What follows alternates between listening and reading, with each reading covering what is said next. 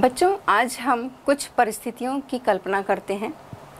जैसे किसी जंगल में एक शेर हो, या किसी द्वीप पर सिर्फ़ एक बाज हो, या बर्फीले पहाड़ पर सिर्फ़ एक वाइट बियर हो, या फिर किसी एक मैदान में गाय हो, या किसी ऐसी जगह में, सुनसान जगह में केवल एक ही मनुष्य हो।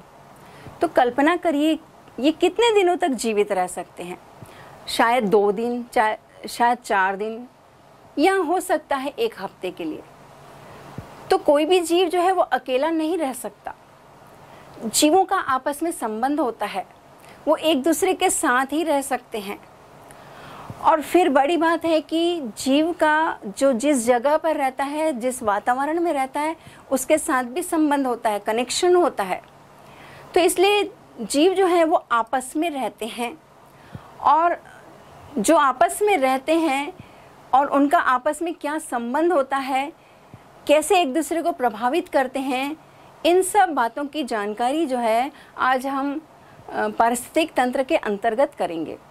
तो यदि पारिस्थितिक तंत्र की बात करते हैं तो सबसे पहले हमें यह जानना होगा कि इकोलॉजी के अंतर्गत जो है जीव विज्ञान की वह शाखा है, यानी इकोलॉजी जीव विज्ञान की वह शाखा है जिसके अंतर्गत हम जीवों का और आपस में और प्रकृति से क्या संबंध है, उसका अध्ययन किया जाता है। क्योंकि आप जानते हैं बायोलॉजी के ऐसे कई सारे ब्रांचेस है जिसके अंतर्गत पर्टिकुलर एक सब्जेक्ट का अध्ययन किया जाता है। तो इकोलॉजी ये है। तो इकोलॉजी जो ये शब्द है, इसको सबसे पहले अर्नेस्ट हैकल ने 1866 में ये वर्ड का यूज़ किया था। अब इकोलॉजी की बात करते हैं, जिसमें हम किसकी बात कर रहे हैं? पर्यावरण की बात कर रहे हैं। तो सबसे पहले हमें पर्यावरण भी जानना होगा कि पर्यावरण किसे कहते हैं। तो आप जान रहे हैं कि पर्यावरण दो शब्दों से मिलकर बना होता है, परिधन आवरण। तो आपके चारों ओर का वातावरण, जहाँ पर कितने सारे जीवों को आप देखते हैं। और ये जीव के साथ अजैविक घटक भी होते हैं। तो यदि हम सूक्ष्म जीवों से लेकर बहुत बड़े जीव की बात करें, यानी, और साथ ही ये जीव जो हैं, छोटे से लेकर बहुत बड़े तक, ये जो अजैविक घटक हैं, अजैविक घटक क्या है? जैसे मिट्टी है, चट्टान आप देख रहे हैं, नदी है, हवा है, पानी है तो इनका इनसे संबंध होता है। और इनकी जो प्रक्रियाएँ होती हैं, ये भी पर्यावरण को प्रभावित करती हैं। पर्यावरण भी इन जीवों को प्रभावित करता है। तो इस तरीके से ये जो भी हम अध्ययन करते हैं, वो पर्यावरण के अंतर्गत करते हैं। अब हम तीसरी बात करते हैं बायोस्फीयर की, यानी जीवमंडल की। आप जानते हैं कि पृथ्वी ही एक ऐसा ग्रह है, जहाँ पर जीवन पाया जाता है। अब पृथ्वी में आप कल्पना करिए कि कहाँ कहाँ जीवन पाया जाता है। आप मोटे तौर पर देखते होंगे कि ज़मीन में या मैदान में कई सारे जीवों को आप देखते हैं, या फिर हवा में आप जीव देखते हैं, उड़ते हुए पक्षी देखते हैं, या फिर पानी में बड़ी बड़ी मछलियाँ देखते हैं मगरमच्छ देखते हैं, या और भी बहुत सारे जीव आप पानी में देखते हैं। तो ये जो भी हम देख रहे हैं, चाहे वो स्थल में देख रहे हैं, चाहे जल में देख रहे हैं, चाहे हवा में देख रहे हैं तो जहाँ भी जीवन की संभावना है वहाँ उसको हम बायोस्फीयर कहते हैं, यानी जैव मंडल कहते हैं। अब इस जैव मंडल को तीन भागों में बांटते हैं। जैसे आप देख रहे हो जल मंडल है, वायुमंडल है और स्थल मंडल है। आप तो मोटे तौर पर जहाँ पर आँखें आपके जाती हैं, वहीं तक देख सकते हैं। लेकिन कई ऐसी जगहें हैं जहाँ पर जीवन भी संभव है। जैसे कि बर्फ़ के नीचे भी जीवन संभव है। कई छोटे छोटे माइक्रो ऑर्गेनिज्म वहाँ पाए जाते हैं। या फिर हम एक ऐसी जगह है जहाँ पर 70 डिग्री सेंटीग्रेड जो है तापमान होता है, वहाँ पर भी बैक्टीरिया जो है आर्की बैक्टीरिया जिसको कहते हैं, वो जीवित रह सकते हैं। तो जहाँ भी जीवन की संभावनाएँ हैं, उसको हम बायोस्फीयर कहते हैं। अब हम एक और टर्मिनोलॉजी की बात करते हैं, बायोम की बात करते हैं। अब पृथ्वी में ऐसे कई बड़े बड़े भूभाग हैं, जहाँ कहना चाहिए वहाँ की भौगोलिक स्थिति कंडीशन वहाँ की जलवायु या मौसम और वहाँ के जीवों में जो है वो समानता होती है, जिसको बायोम कहा जाता है। मतलब एक बहुत बड़ा क्षेत्र है, जिस क्षेत्र की भौगोलिक दशाएँ वहाँ की जलवायु, वहाँ का मौसम और वहाँ के जीवों में समानता। तो उस क्षेत्र को बायोम कहते हैं। जैसे कुछ हम इसके एग्ज़ाम्पल की बात करते हैं तो एक मरुस्थली बायोम है, सदाबहार वर्षावन वाला बायोम है, सागरीय बायोम है, टुंड्रा बायोम है और सवाना बायोम है। तो यदि हम एक बायोम की बात करें, चलिए अगर एक डेजर्ट बायोम की बात करते हैं तो डेजर्ट बायोम की वहाँ की जो कंडीशंस होगी, वहाँ की जो जलवायु होगी, वहाँ का जो मौसम होगा, वो हर जगह वो समानता होगी। और फिर यदि वहाँ के जीवों की बात करेंगे तो चाहे पेड़ पौधे हों, चाहे जीवों की बात करेंगे, एनिमल्स की बात करेंगे तो उनमें भी कहीं ना कहीं ऐसी समानताएँ मिलेंगी कि जो वहाँ के वातावरण से अनुकूलित हो। तो सबसे बड़ी बात तो ये होती कि जो जीव जहाँ रहता है, वहाँ के लिए अनुकूलित हो जाता है। तो जैसे वहाँ आप पेड़ पौधों को देखते होंगे तो वहाँ के जो पौधे हैं, उनकी पत्तियाँ जो होती हैं, या तो कांटेदार होती हैं, या छोटी होती हैं। या वहाँ के स्टेम की बात करें तो वो फ्लैशी होते हैं ताकि वो पानी को सेव करके रखते हैं, क्योंकि डेजर्ट प्लेसेस में पानी की कमी पाई जाती है। तो इस तरीके से वो एक बड़ा स्थल जो है, वो एक्चुअली इकोसिस्टम होता है, पारिस्थितिक तंत्र होता है। तो वहाँ पर उनकी वो समानता पाई जाती है, इसलिए एक पर्टिकुलर हर एक को बायोम कह दिया गया। अब हम लेवल्स ऑफ़ ऑर्गेनाइजेशन की बात करते हैं। तो जैसे अगर हम एक जीव की बात करते हैं पर्टिकुलर एक जीव जो है, आप ये देख रहे हो। अब ये एक जीव जो है, उसकी जो कई सारी संख्या है, वो क्या बनाती है? पॉपुलेशन बनाती है, यानी समष्टि बनाती है। इस समष्टि को आपने, पिछले चैप्टर में भी आपने पढ़ा है। अब ये पॉपुलेशन जो है, आप देख रहे हो कि पॉपुलेशन एक की पॉपुलेशन है, वो दूसरे के साथ रह रही है। मतलब अगर एक किसी पर्टिकुलर स्थान की बात कर रहे हैं तो वहाँ कई सारे जीव होते हैं। वहाँ गाय भी मिलेगी, कुत्ते भी मिलेंगे कई सारे पेड़ पौधे भी मिलेंगे, चूहे भी मिलेंगे। तो वो जो वहाँ रह रहे हैं, उसको हम कहते हैं समुदाय, या कम्युनिटी कहते हैं। अब हम आगे एक बात और बढ़ते हैं इकोसिस्टम की, कि जो ये जीव हैं, वहाँ पर मिट्टी भी है हवा भी है, पानी भी है, प्रकाश भी है, तापक्रम भी है। तो ये जो है अजैविक पदार्थ कहलाते हैं, ये भी वहाँ पर मिलकर जो यानी जैविक घटक और अजैविक घटक मिलकर पारिस्थितिक तंत्र बनाते हैं। तो वो इकोसिस्टम बना लेते हैं। अब कई सारे इकोसिस्टम मतलब एक घास का इकोसिस्टम हो सकता है, एक तालाब का हो सकता है, एक जंगल का हो सकता है खेत का हो सकता है। तो कई सारे इकोसिस्टम जो हैं, वो मिलकर बायोस्फीयर बनाते हैं। पहले बायोम बनाएँगे और बायोम के बाद बायोस्फीयर बनाएँगे। तो इस तरीके से जो एक्चुअली uh, हमारे चैप्टर का जो मोटो है वो पारिस्थितिक तंत्र है। वो पारिस्थितिक तंत्र कैसे बनता है इसके कौन से प्रकार होते हैं और कैसे कौन से जीव एक दूसरे को प्रभावित करते हैं इसका हम विस्तृत अध्ययन करेंगे। पारिस्थितिक तंत्र को सबसे पहले जो है एजी टेंसले ने इस शब्द का प्रयोग किया था 1935 में। उनके अनुसार देखा जाए तो पारिस्थितिक तंत्र है क्या? तो उन्होंने बतलाया था कि पारिस्थितिक तंत्र जो है वातावरण के सभी अजैविक और जैविक घटकों के पूर्ण समन्वय से बनी प्रणाली है। और यदि पारिस्थितिक तंत्र को सरल शब्दों में देखा जाए तो अजैविक घटक और जैविक घटकों की अंतर क्रिया के फलस्वरूप जो तंत्र बनता है, उसको ही पारिस्थितिक तंत्र कहते हैं। और पृथ्वी एक बहुत ही विशाल पारिस्थितिक तंत्र है, जिसमें जैविक और अजैविक घटक आपस में इंटरेक्शन करते हैं और जिसके कारण ही उनमें संरचनात्मक और क्रियात्मक परिवर्तन होता रहता है। अब यदि हम इसको बहुत अच्छे से देखें तो इसके संरचना और घटक क्या हैं? यानी पारिस्थितिक तंत्र के जो उसकी संरचना है और घटक वो किन घटकों से मिलकर बनी होती है?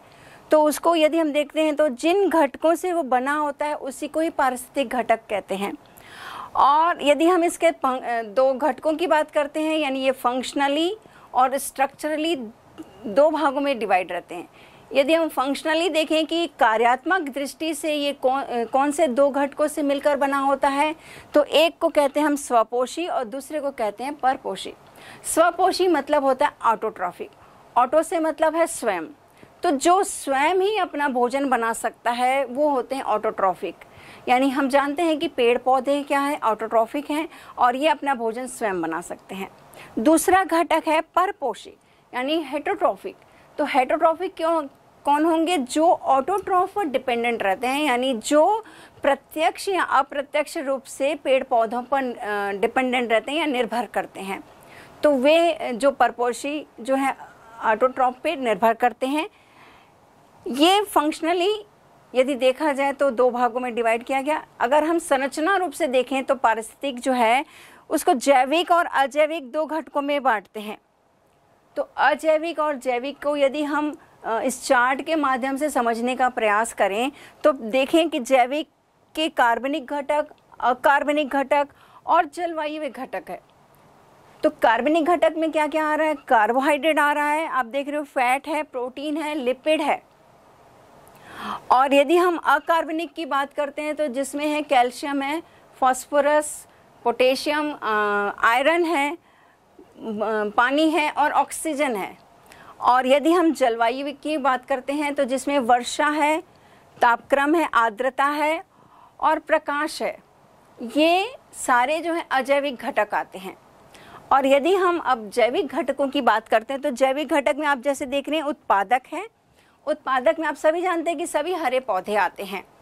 और दूसरा जो है उपभोक्ता है, और तीसरा है अपघटक। अपघटक में कवक और जीवाणु आते हैं। और यदि उपभोक्ता की हम बात करते तो ये भी देख रहे हैं आप, तीन भागों में बटा हुआ है। प्राथमिक उपभोक्ता, जिसमें सभी शाकाहारी जीव आएँगे। द्वितीय उपभोक्ता, जिसमें कि जो मांसाहारी होते हैं, जो शाकाहारी जीवों पर डिपेंडेंट होते हैं, जैसे लोमड़ी है, भेड़िया है अगर तीसरे की बात करें, यानी तृतीयक उपभोक्ता की बात करते जो ये टॉप मोस्ट के रहते हैं, जो सेकेंडरी वाले कंज्यूमर को खाते हैं, यानी द्वितीय उपभोक्ता को खाते हैं, इसमें जो है सांप है, सिंह है, शेर है, बाज है, ये सब आते हैं। तो यदि हम संरचना रूप से देख रहे हैं तो ये जैविक और अजैविक घटक हैं। अब अगर हम अजैविक की बात करते हैं तो अजैविक में आप जैसे देख रहे हैं तो कार्बनिक घटक। तो कार्बनिक घटक में कार्बोहाइड्रेट है लिपिड है प्रोटीन है फैट है। तो इनको बनाने वाला कौन है? और यदि एक सिस्टम की हम बात करते हैं तो सिस्टम में क्या क्या चाहिए? जैव और अजैव घटक की तो हम बात करते हैं। लेकिन इनको बीच जोड़ने वाली जो कड़ी होती है, वो ऊर्जा होती है एनर्जी होती है। एनर्जी जो है हर सिस्टम में चाहिए रहती है। और ये एनर्जी कहाँ से मिलती है? सूर्य से मिलती है और वातावरण में उपस्थित रासायनिक पदार्थों से मिलती है। तो किसी भी सिस्टम का जो भो जो ऊर्जा का स्रोत होता है, वो तो सूर्य होता है, एक तो और दूसरा होता है रासायनिक तत्व होते हैं। जो ये मिलकर जो है ऊर्जा के लायक भोज्य पदार्थ बनाते हैं। तो ये कार्बनिक घटक हो गए। फिर दूसरा है अकार्बनिक घटक, जिसे आप देख रहे हो, ऑक्सीजन है, वाटर है, कैल्शियम है, पोटेशियम, आयरन है। तो ये अकार्बनिक तत्व जो हैं, इस प्रकृति में हमेशा बने रहते हैं। वो कैसे बने रहेंगे? क्योंकि इनका एक साइकिल चलता है। साइकिल मतलब वाटर साइकिल आपने नाम सुना होगा, ऑक्सीजन साइकिल नाम सुना होगा। क्योंकि ये जहाँ से शुरू होते हैं, फिर वहाँ वापस पहुँच जाते हैं। मतलब ऑक्सीजन यूज़ हुई तो फिर से वो कई सारे सिस्टम से होकर वापस वातावरण में आ जाती है। कैसे और सारे चक्र चलते हैं, उसको हम आखिरी में इसका डील करेंगे। तो ये जो अकार्बनिक तत्व हैं, वो हमेशा उनकी मात्रा जो है, पर्यावरण में बनी रहती है। अब तीसरी बात करते हैं जलवायु की, जिसमें हवा, वर्षा, तापक्रम की बात हो रही है। तो ये भी पर्यावरण का अजैविक घटक है जो जैविक घटक को प्र, प्रभावित करता है तो ये भी मैटर करता है। तीसरी बात हम करते हैं जैविक में जैसे हम उत्पादक की बात कर रहे हैं तो उत्पादक में हम बात कर रहे हैं सभी हरे पौधे की बात कर रहे हैं। आपने कुछ ऐसे पौधों का भी नाम सुना होगा जैसे अमरबेल है। अमरबेल जो है वो परजीवी पौधा होता है उसमें क्लोरोफिल नहीं होता वो भोजन नहीं बना सकता। इसलिए यहाँ अब जो टर्म देख रहे हैं कि सभी हरे पेड़ पौधों की बात हो रही है। मतलब उनमें क्लोरोफिल होता है और वो प्रकाश संश्लेषण की क्रिया करने में सक्षम होते हैं। तो ये जो हरे पेड़ पौधे हैं, वो कैसे प्रकाश संश्लेषण की क्रिया करते हैं? आप ये भी प्रक्रिया को आपने पिछली कक्षाओं में पढ़ा होगा। ये सूर्य की ऊर्जा लेते हैं, जिसमें ऊर्जा मुख्य भाग होती है। और यदि इसके अकार्बनिक तत्वों की बात करते हैं तो कार्बन डाइऑक्साइड रहता है और पानी रहता है। कार्बन डाइऑक्साइड को वातावरण से लेते हैं और पानी को नीचे ज़मीन से लेते हैं। तो इन दो अकार्बनिक तत्वों की उपस्थिति के साथ सूर्य की ऊर्जा जो है, वो प्रकाश संश्लेषण की क्रिया वो करते हैं। और फिर आप जानते हैं कि पौधे इस प्रक्रिया के ज़रिए क्या क्या बनाते हैं? कार्बोहाइड्रेट बनाते हैं, प्रोटीन बनाते हैं, फैट बनाते हैं, लिपिड बनाते हैं। और कई सारे ऐसे सोर्स हैं जो आप यूज़ करते हैं और आप जानते हैं, ये जो भी भोजन आप यूज़ करते हैं, उससे आपको एनर्जी मिलती है। तो उत्पादक हो गए, ये प्रकाश संश्लेषण की क्रिया के द्वारा कार्बनिक पदार्थ को बनाते हैं और साथ में आप जानते हो कि ऑक्सीजन भी इस प्रक्रिया में रिलीज़ होती है। जो सारे जीवों का प्राण आधार है, जीवनधार है, यानी ऑक्सीजन के ज़रिए ही जो अन्य जीव हैं, वो जीवित रहते हैं। तो ये उत्पादक हो गए। अब दूसरी बात करते हैं हम उपभोक्ता की। उपभोक्ता में आप जैसे देख रहे हो प्राथमिक उपभोक्ता। तो प्राथमिक उपभोक्ता क्या होंगे जो आ, हरे पौधों को खाते हैं। ये सारे शाकाहारी जीव आ जाते हैं। आ, इसमें आप जानते होंगे खरगोश है भेड़ है बकरी है घोड़ा हाथी। ये सब जो है वनस्पतियों के पौधे के भाग या पत्तियों को खाते हैं। तो प्राथमिक उपभोक्ता हो गए, फिर है द्वितीय उपभोक्ता की बात करते तो द्वितीय उपभोक्ता जो है, वो प्राथमिक उपभोक्ता को खाते हैं, यानी प्राइमरी कंज्यूमर को खाते हैं। तो ये जो है सेकेंडरी लेवल के रहते हैं, जिसमें मोर है, भेड़िया, लोमड़ी आते हैं। और यदि हम तीसरे तृतीय उपभोक्ता की बात करें तो ये टॉप लेवल पर होते हैं, जिसमें सांप, सीम, बाज, गिद्ध आते हैं। ये जो है सेकेंडरी लेवल के कंज्यूमर को खाते हैं। अब अब हम बात करें अपघटक की। तो अपघटक जो है जो डिकम्पोजर होते हैं और जिसमें आप देख रहे हो एग्ज़ाम्पल देख रहे हो जैसे ये कवक है और जीवाणु है। ये भी हमारे लिए बहुत इंपॉर्टेंट है हमारे पर्यावरण के लिए। क्यों? क्योंकि जीव जब उसकी मृत्यु होती है या मृत होता है कोई भी पेड़ पौधे की हम बात करते हैं या कोई जीव की बात कर देते हैं जैसे कोई लोमड़ी या बाज या ख, आ, मर गए तो उसके बाद वो उनका क्या होगा? तो वो धीरे धीरे आप जानते हैं सड़ना स्टार्ट होते हैं, प्रारंभ होता है। और फिर वो सड़न सड़ाता कौन है? ये बैक्टीरिया होते हैं और कवक होते हैं। ये उनके, उनको सड़ाकर उनके जो मूलभूत जो तत्व हैं, उसको स्वतंत्र करते हैं वातावरण में। और ये जो तत्व हैं, अगर हम ये बात करें हमारी स्किन की तो ये किससे बनी हुई है? प्रोटीन कार्बोहाइड्रेट लिपिड की बनी हुई है। अब प्रोटीन कार्बोहाइड्रेट लिपिड की बात करें तो जो उनका बेसिक स्ट्रक्चर है, उसमें कार्बन होगा, हाइड्रोजन होगा, ऑक्सीजन होगा, नाइट्रोजन होगा, सल्फ़र होगा, कैल्शियम होगा। तो ये सब जो है, जो कोई जब जीव मृत होता है तो यही सब तत्वों को, ये जीवाणु और कवक जो है वो फ्री करते हैं। जैसे हमने कहा था ना कि अकार्बनिक तत्व जो है, हमेशा प्रकृति में संतुलन बनाए रखते हैं, हमेशा उनकी मात्रा जो है वो निश्चिंत बने रहती है। उसका रीज़न ही यही है कि कोई भी जीव मृत होता है तो उसका, उसको उसके रूप में, मूलभूत तत्वों में जो स्वतंत्र करने वाला जीवाणु और कवक होता है तो ये डिकम्पोज करते हैं, उसका अपघटन करते हैं और सारे तत्व वापस जो है, पारितंत्र में फ्री हो जाते हैं।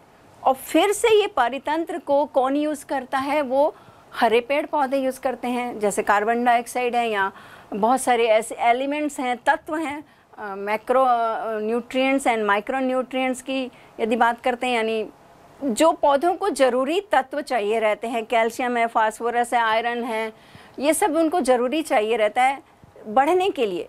तो जब वो ग्रोथ करते हैं और फिर आगे उनमें प्रकाश संश्लेषण की क्रिया होती है तो इस तरह से आप देख रहे हैं कि ये पौधे जो है कार्बनिक पदार्थ बनाते हैं, किन से बना रहे हैं? अकार्बनिक पदार्थों से। तो ये उनका चक्र चलता रहता है। तो एक इकोसिस्टम में आप जैसे देख रहे हो, जैविक घटक है और अजैविक घटक है। इनका आपस में संबंध है। कैसे संबंध है? तो जैसे जैविक घटक हैं, वो किस पर डिपेंडेंट है? पेड़ पौधों पर डिपेंडेंट है। पेड़ पौधे किस पर डिपेंडेंट है? पेड़ पौधे कैसे अपना भोजन बना रहे हैं? सूर्य के प्रकाश से बना रहे हैं और साथ में ही अकार्बनिक तत्व उनको ज़रूरत पड़ रही है सीओ और एच की। इस तरह से कार्बनिक पदार्थ बना रहे कार्बनिक पदार्थ जीव खा रहे हैं। जीव की जब डेथ हो रही है तो डिकम्पोजिशन हो रहा है। तो इस तरह से ये एक पूरा साइकिल चलता रहता है और इकोसिस्टम में ये एक दूसरे को प्रभावित करते हैं। तो बच्चों, अब हम पारिस्थितिक तंत्र के आकार की बात करते हैं, उसके साइज़ की बात करते हैं। तो पानी की एक छोटी सी बूंद है, ये भी एक पारिस्थितिक तंत्र है। और यदि आप एक पेड़ को देखते हैं, वृक्ष को देखते हैं तो ये भी एक पारिस्थितिक तंत्र है। तो छोटी सी बूंद से लेकर वृक्ष और ऐसे ही बहुत बड़े बड़े सागर और पहाड़ पर्वत, जंगल, ये सब जो है पारिस्थितिक तंत्र के अंतर्गत आते हैं। यानी छोटी बूंद से लेकर एक बहुत बड़ा विशाल जो है सागर भी पारिस्थितिक तंत्र के अंतर्गत आता है। यानी आप साइज़ में देख रहे हैं कि सागर जो है कितना बड़ा, विशाल होता है, जो एक पारिस्थितिक तंत्र हो सकता है। और ऐसे ही बड़े, विशाल जो जगह होते हैं, जिसको हमने पहले भी बात की थी, उसको हम बायोम कहते हैं। तो ऐसे जंगल है, बहुत बड़ा जंगल होता है तो वो भी एक बायोम है, और सागर है तो वो भी बायोम है। हालाँकि हैं वो एक पारिस्थितिक तंत्र। तो सीमा की बात करें तो ये छोटे से लेकर ये बहुत बड़ा हो सकता है। अब यदि हम इसकी सीमा की बात करते, वो आकार की हमने बात की अगर हम उसकी सीमा की बात करते हैं तो सीमा एक पारिस्थितिक तंत्र की दूसरे पारिस्थितिक तंत्र से ऐसे बिल्कुल कोई एक बाउंड्री नहीं है कि वो उससे अलग होता है। बल्कि एक पारिस्थितिक तंत्र के जो उपभोक्ता होते हैं, वो दूसरे पारिस्थितिक तंत्र में भी चले जाते हैं। उपभोक्ता हो सकता है ये कॉमन हो, एक से दूसरे वो जा सकते हैं। तो एक पर्टिकुलर कोई बाउंड्री या कोई सीमा नहीं होती है। और ये एक पारितंत्र के जीव एक दूसरे में आते जाते रहते हैं। अब एक हम एग्ज़ाम्पल देखते हैं, तालाब का या झील का, जिसके जो उपभोक्ता हैं, वो क्या होंगे? मछलियाँ ही होंगी। लेकिन हो सकता है उस झील में, उस तालाब के किनारे में कुछ पक्षी भी आ जाएँ और वहाँ की मछलियों को खाने लगे या वहाँ के जलीय जीवों को खाने लगे। तो इस तरीके से कोई सीमा तो है नहीं, दूसरे परितंत्र के भी जीव आ गए। यदि हम एक खेत की बात करते हैं तो खेत के पारितंत्र में कहीं दूसरी जगह से आकर पक्षी आया और वहाँ जो छोटे छोटे कीट हैं या केचुआ को खा रहा है। तो इससे भी आपको समझ में आ रहा है कि कोई एक पर्टिकुलर सीमा नहीं रहती है। यदि हम एक और एग्ज़ाम्पल की बात करते हैं साइबेरियन क्रेंस यानी सारस, जिसको हिम सारस भी कहा जाता है। और भरतपुर जो है, जो राजस्थान में है अभ्यारण्य है, वहाँ पर ये साइबेरियन क्रेन्स जो है, साइबेरिया मतलब कहना चाहिए रूस तो वहाँ से ये इस जगह राजस्थान में आते हैं, राजस्थान के भरतपुर जगह में आते हैं, क्यों आते हैं और कब आते हैं? क्यों आते हैं? तो इसका जवाब है कि क्योंकि उस समय यानी ये ठंड में ही आते हैं, अक्टूबर वाले माह में आते हैं और मार्च तक रहते हैं, क्योंकि इस सीज़न में रूस में बहुत ज़्यादा ठंड पड़ती है तो वहाँ वो जीवित नहीं रह सकते। तो इसलिए वो प्रवासी के रूप में राजस्थान में आते हैं वहाँ पर मार्च तक रहते हैं और फिर ये अपने पारितंत्र में वापस लौट जाते हैं। तो इसका मतलब आप समझ रहे हैं कि ये आ, कुछ समय के लिए आते हैं प्रवास का उनका कुछ महीने का समय रहता है और फिर से चले गए। तो जिस समय तक वो यहाँ रह रहे हैं वो पारितंत्र को ज़रूर प्रभावित करेंगे। तो इस तरह से हम देख रहे हैं कि कोई उसकी एक पर्टिकुलर सीमा नहीं होती है। एक परितंत्र के जीव दूसरे में जाते हैं। तो ये सीमा की बात हुई। अगर हम इसके प्रकार की बात करते हैं, यानी इसके पैटर्न की बात करते हैं तो आप जैसे इस चार्ट में देख रहे हो कि दो इसके प्रकार हैं। एक है प्राकृतिक और दूसरा आप देख रहे हो कृत्रिम। प्राकृतिक जो है, अपने आप से प्रकृति में बना हुआ है। तो ये प्राकृतिक पारिस्थितिक तंत्र होता है। और दूसरा आप देख रहे हैं कृत्रिम। कृत्रिम को मैनमेड भी कहते हैं और मैनमेड मतलब मनुष्य के द्वारा बनाया गया ये पारिस्थितिक तंत्र है। तो पहले हम प्राकृतिक पारिस्थितिक तंत्र की बात करते हैं, जिसमें आप देख रहे हो स्थलीय है। स्थल में रहने वाले जो भी पारिस्थितिक तंत्र होंगे उसकी बात करते हैं। तो पहले आप देख रहे हो घास का, घास के मैदान का पारिस्थितिक तंत्र। फिर आप देख रहे हो वन पारिस्थितिक तंत्र। फिर आप देख रहे हो मरुस्थलीय पारिस्थितिक तंत्र। और फिर देख रहे हैं पर, पर्वतीय पारिस्थितिक तंत्र और टुंड्रा पारिस्थितिक तंत्र। तो ये क्या हो गए? स्थलीय पारिस्थितिक तंत्र। अब हम दूसरी बात करते हैं प्राकृतिक में एक हो गया स्थल दूसरा हो गया जलीय। अब जलीय में भी आप देख रहे हैं कि दो इसके भाग हैं पहला है स्वच्छ जलीय और दूसरा है समुद्र जलीय। तो स्वच्छ जलीय क्या होगा? जिसमें लवण नहीं होता है। आप जानते हो कि जो नदियाँ हैं, झीलें हैं वहाँ पर उनके पानी में लवण नहीं होता है। तो इसलिए इसको क्या कहते हैं हम लोग? फ्रेश वाटर कहते हैं, स्वच्छ जलीय कहते हैं। तो इसके क्या क्या एग्ज़ाम्पल होंगे? झरना है, नदी है, तालाब है, दलदल है या झील है। तो ये स्वच्छ जलीय पारिस्थितिक तंत्र के उदाहरण हो गए। दूसरा, यदि हम बात करते समुद्री जलीय तो समुद्र जलीय कैसा होगा? जिसमें लवण की मात्रा ज़्यादा होगी। तो ये समुद्र जलीय के दो उदाहरण आप देख रहे हो। समुद्र होता है और महासागर होता है। समुद्र आप जानते हो थोड़ा छोटा होता है और महासागर, आपने पाँच महासागर पढ़े होंगे तो बहुत विशाल काय बड़े से रहते हैं। तो ये होते हैं समुद्र जलीय। तो इस तरीके से हमने इनके प्रकारों की बात की। अब हम एक एक करके पर्टिकुलर एक परितंत्र, यानी एक पारिस्थितिक तंत्र कैसा होता है, उसके कौन से उत्पादक होंगे, कौन से उपभोक्ता होंगे और कौन से अपघटक होंगे, उनको हम विस्तृत हम पढ़ेंगे, जानेंगे उसके बारे में। अब हम पहले प्रकार वन का जो पारिस्थितिक तंत्र है, उसमें कौन कौन से जैविक और अजैविक घटक आएँगे, उसको हम देखते हैं। तो यदि हम वन के पारिस्थितिक तंत्र की बात करते हैं तो इसमें बहुत बड़े, विकसित और बहुवर्षीय वृक्ष वृक्ष आते हैं। और ऐसे यदि वन देखा जाए तो पृथ्वी का कुल 40 प्रतिशत भाग जो है, इन्हीं वनों से आच्छादित है। अब इसमें अजैविक घटक की बात करेंगे तो कार्बनिक घटक, जैसे हमने पहले भी बात की थी, कार्बनिक घटक में कार्बोहाइड्रेट आता है फैट आता है प्रोटीन आता है लिपिड आता है। और अकार्बनिक पदार्थों में आता है कार्बन डाइऑक्साइड आता है, पानी आता है कैल्शियम फास्फोरस आयरन तो ये जो है अजैविक घटक हैं और इनके ज़रिए जो है हरे पौधे क्या बनाते हैं? प्रकाश संश्लेषण की क्रिया के द्वारा भोज्य पदार्थ बनाते हैं यानी कार्बनिक पदार्थों को बनाते हैं। तो हरे पौधे क्या करते हैं? सबसे पहले कार्बनिक पद, अकार्बनिक पदार्थों को लेकर सूर्य से ऊर्जा लेकर प्रकाश संश्लेषण की क्रिया के द्वारा कार्बोहाइड्रेट प्रोटीन लिपिड और फैट बनाते हैं जो ये ऊर्जा का स्रोत होते हैं। अब इनके द्वारा जो है अजैविक घटकों के द्वारा जैविक घटक, जिसमें सबसे पहले आता है उत्पादक। उत्पादक में हमने बात की सभी हरे पेड़ पौधे। तो सबसे पहले हरे पेड़ पौधे जो हैं, वो क्या बना लिए? कार्बनिक पदार्थों को बना लेते हैं, जैविक घटक के लिए बनाते हैं, ताकि आगे के जो और जीव हैं, वो उन पर डिपेंडेंट होते हैं। तो जब ये हरे पौधे उत्पादक आते हैं, जिसमें उन्होंने क्या किया? कार्बोहाइड्रेट वगैरह बना लिया। इसके बाद यदि हम दूसरे लेवल पे देखें उत्पादक तो उत्पादक में यदि हम अलग अलग वन की जगह की बात करते हैं तो कौन कौन से पौधे वहाँ पाए जाएँगे? क्योंकि जब हम अभी एक पर्टिकुलर कोई स्पेशल जगह की बात कर रहे हैं कि वहाँ का पारिस्थितिक तंत्र कैसा है, कौन से वहाँ पौधे मिलेंगे, कौन से वहाँ जीव जंतु मिलेंगे, इन सबको जानना ज़रूरी है, क्योंकि हम ट्वेल्थ लेवल पर ये पढ़ रहे हैं तो पर्टिकुलर वहाँ की स्पीशीज़ का भी जो है वो नॉलेज होना ज़रूरी है और मेंशन करना ज़रूरी है।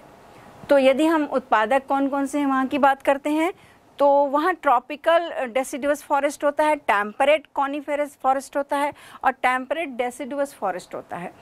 तो ट्रॉपिकल डेसिडुअस फॉरेस्ट में होते हैं सागौन, साल, पलाश आदि ये बड़े बड़े वृक्ष पाए जाते हैं। यदि टैम्परेट कॉनिफेरस फॉरेस्ट की बात करते हैं तो वहाँ पे एबीज है पीसिया है, पाइनस है और सिड्रस है जूनी पैरस है। तो ये हो गया सेकेंड लेवल का टेम्परेट कॉनिफेरस फॉरेस्ट में। एंड थर्ड की बात करते हैं तो टेम्परेट डेसिडुअस फॉरेस्ट जहाँ क्वेरिकस थूजा एसर और पीसिया ये बड़े बड़े वृक्ष मिलते हैं। तो ये उत्पादक जो हैं, वो क्या करेंगे? उत्पाद बनाएँगे, यानी कि कार्बनिक पदार्थ बनाएँगे। अब दूसरे लेवल पर क्या आते हैं? जैविक घटक में उपभोक्ता आते हैं, यानी कंज्यूमर्स आते हैं। और कंज्यूमर्स की भी हमने बात पहले की थी कि पहले प्राथमिक लेवल प्राथमिक उपभोक्ता होता है, फिर द्वितीयक होता है, फिर तृतीयक होता है। तो प्राथमिक लेवल पर यहाँ पर कौन कौन से जीव होंगे तो उसको भी देखते हैं। तो छोटे छोटे जैसे जीव हैं, चीटियाँ हैं, मकड़ियाँ हैं, बीटल्स हैं बग्स हैं, ये जो है, पत्तियों को खाते हैं। पत्तियों को खाने वाले ये छोटे जंतु हैं। और यदि यहाँ के बड़े जानवरों की बात करते हैं, जैसे हाथी है, घोड़ा, हिरन, नील गाय है गिलहरियाँ हैं। ये जो हैं, थोड़े बड़े हैं, मंकी आदि भी हैं। ये पौधों के फल को खाते हैं या पौधों के अन्य भागों को खाते हैं। तो ये सभी प्राथमिक उपभोक्ता कैसे, कौन सी कैटेगरी में आ जाते हैं? शाकाहारी में आते हैं। तो ये क्योंकि हम वन के पारिस्थितिक तंत्र की बात करें तो ये सब मेंशन करना ज़रूरी है तो आप आगे करेंगे। फिर हम सेकेंडरी कंज्यूमर की बात करते हैं, यानी द्वितीयक उपभोक्ता की बात करते हैं तो यहाँ पर जो द्वितीयक उपभोक्ता होते हैं, वो मांसाहारी होते हैं। और मांसाहारी में क्या आता है? जैसे सांप है, गिरगिट है, लोमड़ी है। हो सकता है सांप जो है, वो घास के पारिस्थितिक तंत्र में, वो तृतीयक में आ जाए। तो यहाँ पे ये कन्फ्यूज़न नहीं होना है कि कहीं पर वो द्वितीयक में आ रहा है, कहीं पर तृतीयक में आ रहा है। तो ये हो सकता है वहाँ की परिस्थितियों पर डिपेंड करता है। तो चूँकि ये वन है फॉरेस्ट है तो यहाँ पर तृतीयक लेवल पे कौन होंगे? वो शेर बाज, चीता ही हो सकता है। तो तृतीयक उपभोक्ता की बात करते हैं। टर्शरी जो सर्वोच्च मांसाहारी होते हैं ये जो है द्वितीयक उपभोक्ता पर निर्भर निर्भर रहते हैं भोजन के लिए, अपनी ऊर्जा के लिए। तो ये सिंह बाज चीता, शेर आदि आते हैं। और यदि हम यहाँ पर डिकम्पोजर की बात करें, यानी अपघटक की बात करें तो हमने पहले भी बात की थी कि जीवाणु और कवक जो है, वो अपघटक होते हैं। तो अगर हम पर्टिकुलर जीवाणु की बात करते हैं तो वो है एक्टिनोमाइसिटिस और स्ट्रेप्टोमाइसिस ये जीवाणु हैं जो अपघटन करते हैं पौधों और जीव जंतुओं के मृत पदार्थों का एवं सड़े गले पदार्थों का अपघटन करके उनकी जो तत्व हैं उनको मूलभूत रूप में वापस करते हैं, यानी वो वातावरण में स्वतंत्र होते हैं। अगर कवक की बात करते हैं तो कवक में कुछ एग्जाम्पल्स हमें लिखने ज़रूरी हैं, जैसे कि एस्परजिलस है पॉलीपेरस है फ्यूजेरियम है ट्राइकोडर्मा है। तो ये जो जीवाणु और कवक हैं, ये क्या करते हैं? अपघटन का काम करते हैं।